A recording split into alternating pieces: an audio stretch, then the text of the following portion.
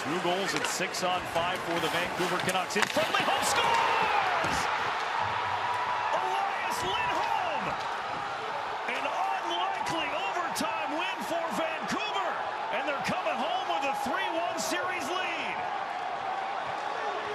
Two different celebrations.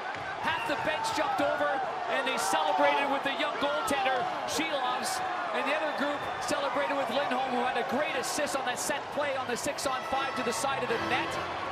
And Lindholm paying off in and same demeanor as always, always in a good position. The fans here are absolutely stunned. It's amazing that the Vancouver Canucks won this hockey game. Absolutely amazing. Honestly, no business winning this game, but that's hockey.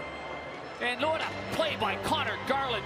Looked like he was going one way, stopped on a dime, went on the backhand, and sprung it right here, right on the tape to Lindholm. I mentioned earlier that, you know, that Blueger was so good between Garland and Dakota Joshua. Lindholm ends up getting the game winner in overtime on that line, and he's been terrific for them. And look at that celebration. That is just some great stuff right there. the Vancouver Canucks have a 3-1 series lead. Demko wins game one. DeSmith wins game three.